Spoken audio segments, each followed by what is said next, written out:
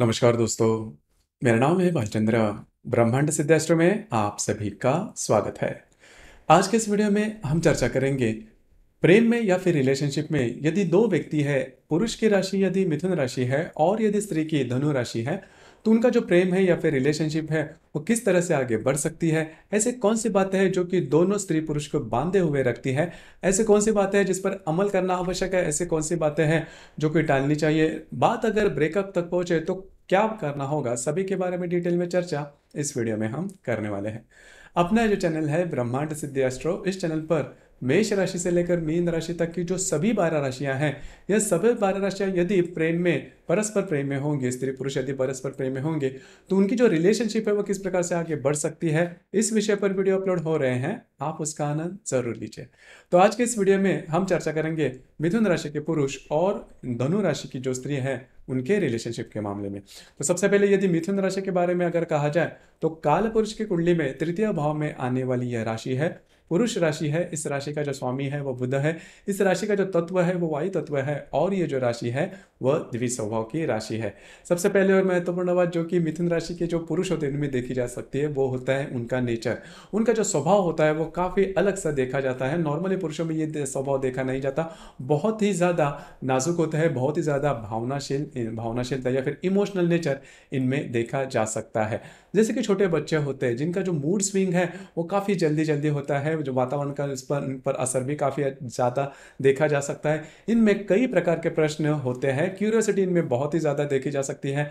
बचपन से ही ये बात इनमें देखी जाती है। इस वजह से हर एक विषय के, विषय में इनका जो ज्ञान होता है, वो काफ़ी अच्छा होता है। हालाँकि जो ज्ञान होता है, वो बहुत ज़्यादा इनडेप नहीं होता, लेकिन किसी के साथ कम्युनिकेट करने के लिए जो ज्ञान चाहिए होता है, वो इन पर इनके पास होता है। इस वजह से इनका जो फ्रेंड सर्कल होता है, वो काफ़ी ज़्यादा देखा जा सकता है उसी इसी प्रकार इनका जो रहन सहन होता है, वो भी काफ़ी नीट एंड क्लीन होता है। हमेशा ट्रेंडिंग फ़ैशन पसंद करते हैं। एक जो बात है, वो मिथुन राशि के जो पुरुष हैं, उनमें खासी देखी जा सकती है। मिथुन राशि के जो पुरुष है, किसी एक बात बात पर कभी अड़े हुए नहीं रहते, हमेशा चेंज पसंद करते हैं। और इसी वजह के वजह के कारण इनका जो फ़ैशन का सेंस है, वो भी हमेशा चेंज हमेशा बदलता रहता है। चेंज जो है, इनके लाइफ का सबसे महत्वपूर्ण पहलू है। हालाँकि इसके कारण कभी कभी उनको खामियाजा भी भुगतना पड़ता है, लेकिन मोटे तौर पर अगर देखा जाए तो बहुत ही ज़्यादा इमोशनल व्यक्ति होते हैं। इनका जो मूड स्विंग होता है, वो भी काफ़ी ज़्यादा देखा जा सकता है। जैसे कि छोटे बच्चे होते हैं छोटी मोटी बातों का इन पर असर काफ़ी देखा जा सकता है। जो मूड है, छोटी बातों से, छोटी वस्तुओं से या फिर छोटी मोटी जो बातें हैं होती है, इससे भी इनका जो मूड स्विंग है, वो नॉर्मली देखा जा सकता है। लेकिन एडजस्ट करने का जो नेचर होता है, वो काफ़ी अच्छा देखा जा सकता है। इसी वजह से किसी भी व्यक्ति के साथ ये इनका जो इंटरेक्शन है, वो काफ़ी अच्छा देखा जा सकता है। इनको वाणी, इनकी वाणी काफ़ी अच्छी होती है रहन सहन काफ़ी अच्छा होता है। इसी वजह से इनकी जो इमेज है, होती है, वो भी काफ़ी अच्छी देखी जा सकती है। इनका जो फ्रेंड सर्कल होता है, वो काफ़ी बड़ा देखा जाता है। फ्रेंड सर्कल में इनकी जो इमेज होती है वो भी काफ़ी अच्छी देखे जा सकती है। लैंग्वेज पर इनका जो कमांड होता है, वो काफ़ी अच्छा होता है। मिथुन राशि के जो व्यक्ति होते हैं, इन्हें नॉर्मली दो तीन प्रकार की जो लैंग्वेज है, वो काफ़ी सरलतापूर्वक बोल सकते हैं। तो ये बात इनमें खासी देखी जा सकती है। इनकी जो आकलन शक्ति होती है, ग्रहण शक्ति होती है, वो काफ़ी अच्छी देखी जा सकती है। नृत्य कला चित्रपट संगीत की जो चाह होती है, वो भी इनमें बहुत ही अच्छी देखी जाती है। इनका जो नेचर होता है, काफ़ी हल्का फुल्का होता है। इनमें सीरियसनेस नॉर्मली देखा नहीं जाता, चुटकुले सुनाना चुटकुले सुनना, काफ़ी ज़्यादा पसंद आता है, इनकी जो वाणी होती है, वो भी काफ़ी अच्छी होती है। वाणी पर हमेशा ये ध्यान देते हैं कि वाणी की वजह से, शब्दों की वजह से ही सामने वाला जो व्यक्ति है, वो दुखी ना हो। इस पर ये ज़्यादा ध्यान ध्यान देते हैं। खुद से ज़्यादा सामने वाले व्यक्ति की रिस्पेक्ट ज़्यादा करते हैं तो ये बात इनमें खासी ज़्यादा देखी जा सकती है।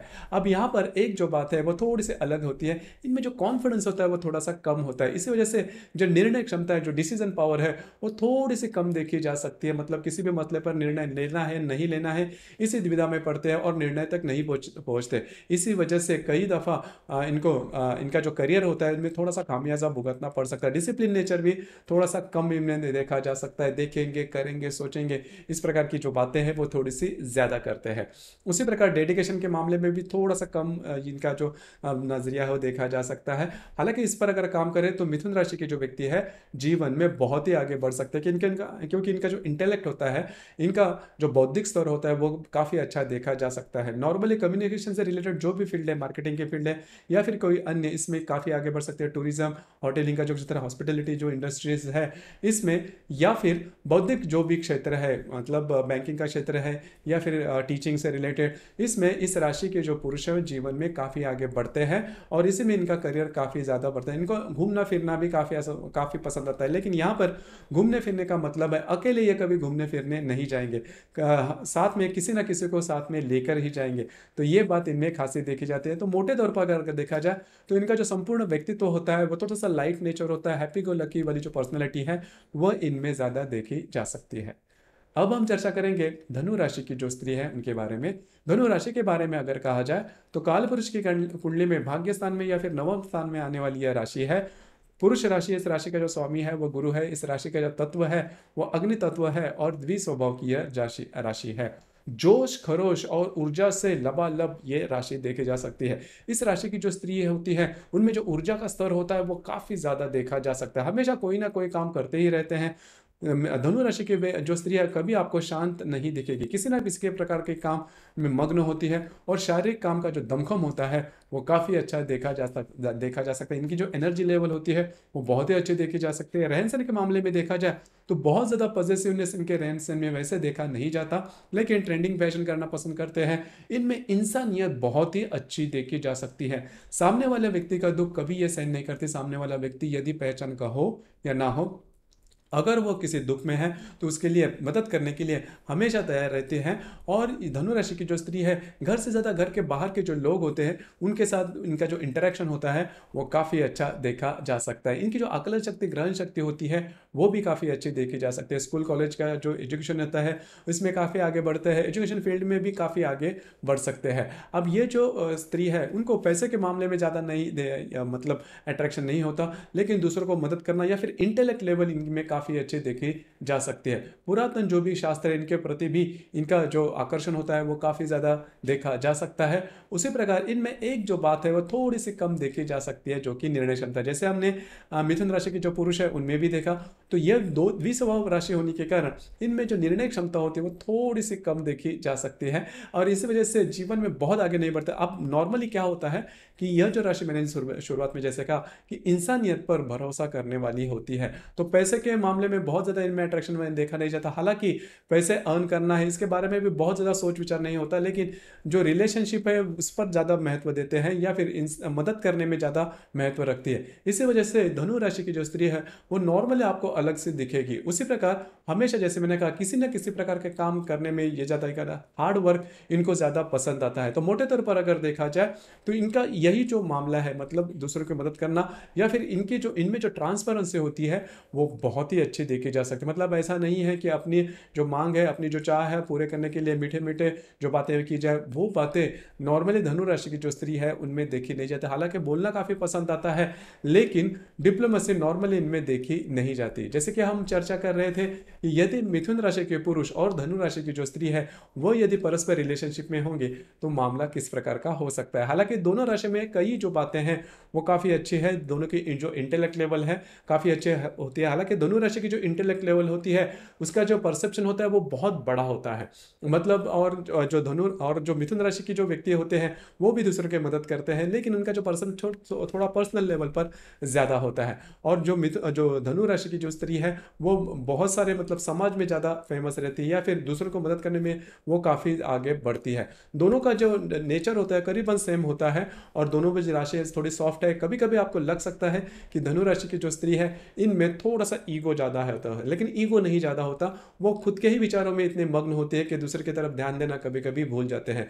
लेकिन दूसरों को मदद करने के मामले में यह राशि की जो स्त्री है, वो काफ़ी आगे बढ़ती है। उसी प्रकार इनमें तो जो इमोशंस की बात है, जितना इमोशंस आप मिथुन राशि की जो पुरुष है, इनमें देखेंगे, उतनी जो इमोशंस है, वो धनु राशि की स्त्री में नॉर्मली देखी नहीं जाती। इनका यही बात है कि सामने वाला व्यक्ति अगर सीधे सीधे है तो ठीक है, अगर वो टेढ़ा है तो इस राशि की जो स्त्री उस पर ध्यान भी नहीं देगी।